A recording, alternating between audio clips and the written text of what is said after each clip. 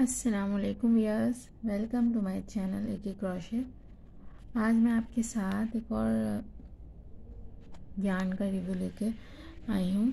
इसमें आज हम नाको विजन का रिव्यू लेंगे आपके साथ। ये इम्पोर्टेड टर्किश होल है नाको विजन और मीडियम फोर की फैमिली में जो है ये आता है।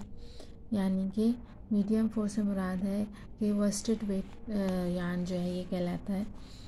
इसकी हम थिकनेस के बारे में बात करेंगे, इसके हम यार्डेज के बारे में बात करेंगे। बताएँगे आपको, देखें, ये इसकी थिकनेस है।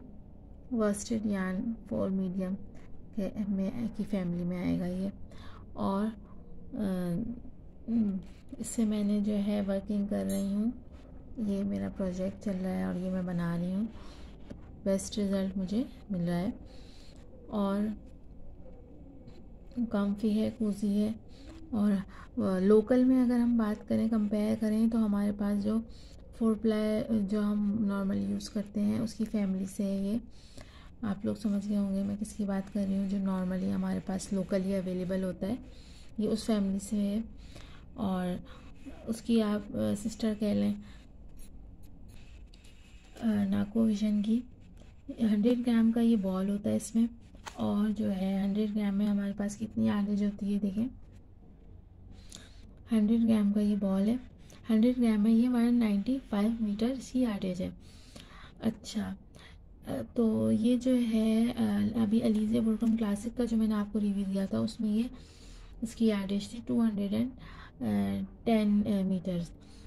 बनस्बत अलीजे सिक्रम के। तो ये वन इसकी यार्ड वन नाइन्टी फाइव है और अलीजे बुरकम क्लासिक की जो है, two hundred and ten yardage थी। तो ये मोस्टली मोस्टली उसके जो है, करीब है और उसके लाइकली है। अलीजा बुरकम क्लासिक की हमारे पास टू हंड्रेड टेन थी और इसकी वन नाइन्टी फाइव मीटर है। अच्छा इसमें जो है आप हुक जो है, थ्री पॉइंट, थ्री से फोर एम mm तक आप यूज़ कर सकते हैं।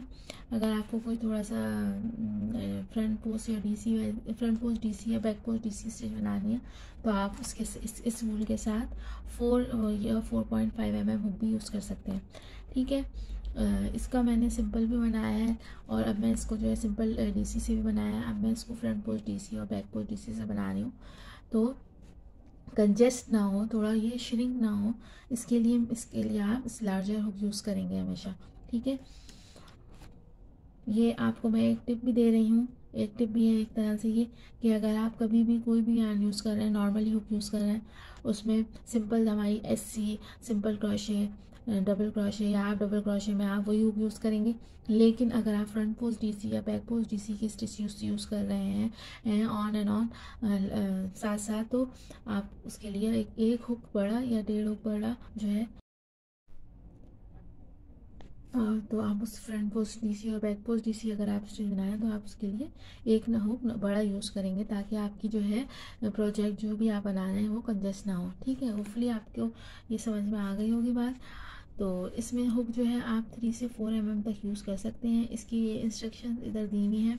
इसका स्वेद भी की मेज़रमेंट भी दी हुई है कि अगर आप twenty six stitches twenty six rows बनाएँ और नाइनटीन कॉलम यानी नाइनटीन स्टिचेस में ट्वेंटी सिक्स रोज़ बनाएँगी तो आपकी टेन सेंटीमीटर की ten ten into ten centimetre का स्क्वायर आपका रिज़ल्ट आएगा। तो होपफुली आपको वीडियो जो है समझ में आ गई होगी। नेक्स्ट वीडियो तक के लिए इजाज़त दीजिए। अल्लाह हाफिज़।